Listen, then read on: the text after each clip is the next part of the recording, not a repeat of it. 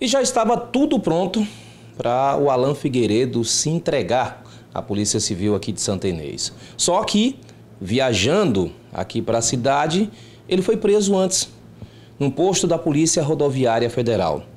Alan Figueiredo é suspeito, é o principal suspeito de ter assassinado o Raimundo Silva em setembro de 2021.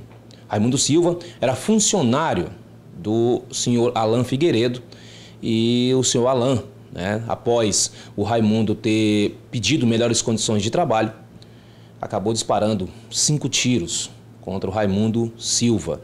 Ele foi levado ainda para um hospital na capital São Luís, passou por cirurgia, mas não resistiu e acabou morrendo. De lá para cá, os procedimentos foram feitos pela Polícia Civil e o Alan Figueiredo era considerado foragido. O advogado do Alan Figueiredo chegou a conversar com o delegado Elson Ramos para que ele pudesse se entregar.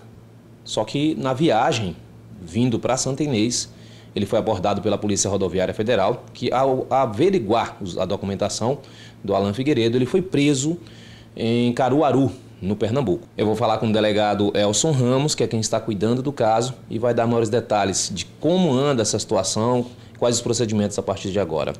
Delegado, o advogado do Alan Figueiredo chegou a conversar com o senhor e estava tudo pronto para se entregar, né? É, foi exatamente isso, né? Depois desse mais de um ano aí foragido, o advogado entrou em contato com a gente, é, que ele manifestou essa intenção dele se apresentar e estava tudo acertado, né? Para ele vir para a cidade, se apresentar na delegacia e ser conduzido ao presídio.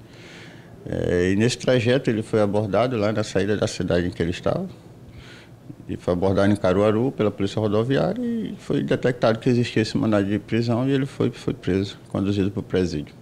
Como é que ficam os procedimentos a partir de agora? Quem define isso é o judiciário, se vai ser transferido para cá ou não, se começa a responder por lá. Geralmente, como é que funciona? É, nesse caso, é, como ele não tem nenhum crime lá onde ele foi preso, é, com certeza ele deve ser transferido para cá, para o Maranhão. Né? Mas essa providência é feita através da Justiça, do Judiciário e da CEAP, né? que é a Secretaria de Assuntos Penitenciários. Então, mas eu acredito aí que em breve ele deve estar chegando aqui no Maranhão. Quanto aos procedimentos, foram conduzidos pelo senhor? O senhor acompanhou todas as investigações, depoimentos? O que, que a polícia concluiu? É, a gente concluiu né, que houve esse homicídio, é, é, aparentemente por causa dessa situação, desse desacordo entre eles lá. É, já foi concluído, foi encaminhado para a justiça, ele já foi pronunciado a júri. Eu acredito que em breve deve estar tendo o júri dele, o júri popular do caso. Obrigado, delegado Elson Ramos. E sobre ainda esse caso, nós fizemos uma reportagem na época, em setembro de 2021, eh, mostrando como tudo aconteceu, inclusive com entrevistas da esposa do Raimundo Silva, também de alguns parentes do Raimundo Silva, e tem até um relato do próprio Raimundo, que ainda estava no hospital, ele conseguiu falar é, através de uma câmera de, do celular, e você acompanha um trecho dessa reportagem agora. As imagens gravadas por um vizinho da vítima usando um celular mostram o momento em que a esposa de Raimundo Silva e algumas pessoas prestam socorro a Raimundo, que tinha acabado de ser baleado no bairro Vila Olímpica, em Santa Inês.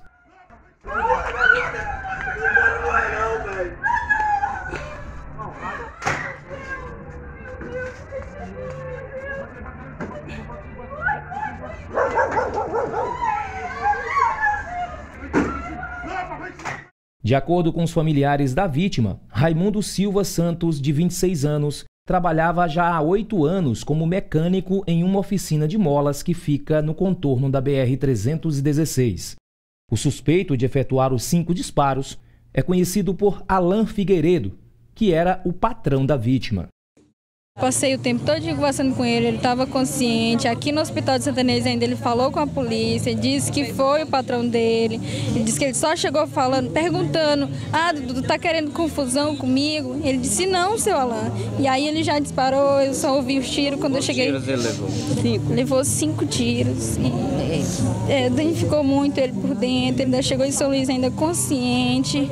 E ele foi conversando comigo o tempo todo. Eu perguntei para ele: Aconteceu alguma coisa hoje? Ele, não, não, não aconteceu nada. Eu disse, meu filho, por que, que ele fez isso? Ele disse, eu não sei. Tu tá podendo falar, meu peixe? Tá arrumadado. Quem foi o autor do disparo? Alan. Alan? Ele, ele é o que pra tu? É meu patrão. Teu patrão? Ele é proprietário de quê? Ele. Na loja do restaurante do, do arco-íris, pô de mola. Ele é o quê? Dono da pô de mola de, de, arco-íris. Ah, dono do posto de molas. Sabe o nome dele completo? Só, só sabe o nome que ele é conhecido como Alan.